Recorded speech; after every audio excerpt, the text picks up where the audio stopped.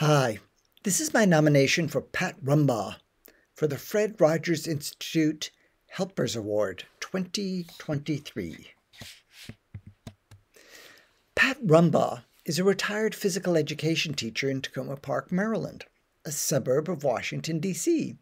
Here you can see her being playful right outside of her house. In 2009, she decided children in Takoma Park were not playing enough, and so she decided to fix that problem.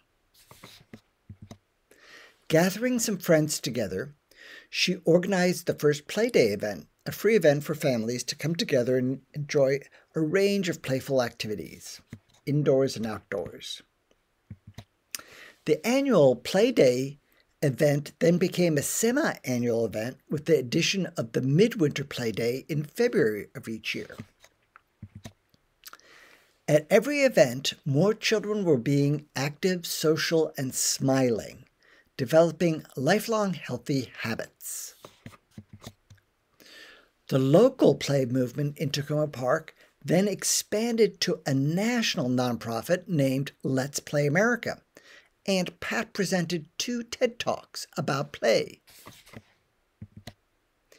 In the summer of 2023, Pat Rumbaugh will be attending an international play conference in Scotland to share and learn from other play advocates around the world.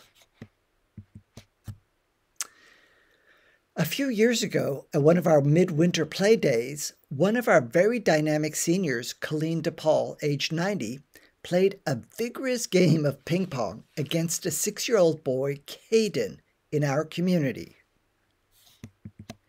Here's a photo of the two of them. On the left, there's Caden, age six. Here is Colleen DePaul on the right, and that uh, was a few years before um, this actual event, but she was a very active ping pong player.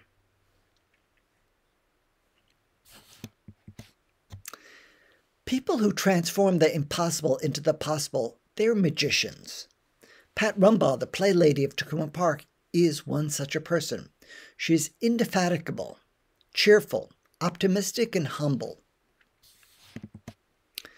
There is so much all of us can learn from her because she is a retired teacher who forgot to stop teaching.